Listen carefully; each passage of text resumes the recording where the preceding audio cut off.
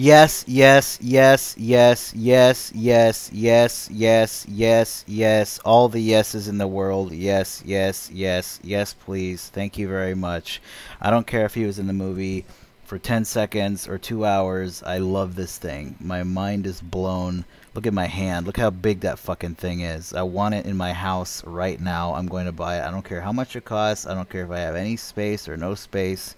It's going to be mine because it's a rhino.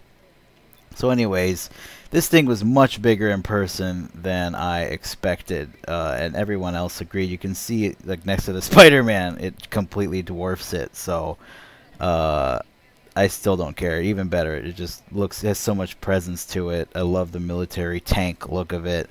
It's a great take on a Rhino style villain. So, yeah, I want it immediately.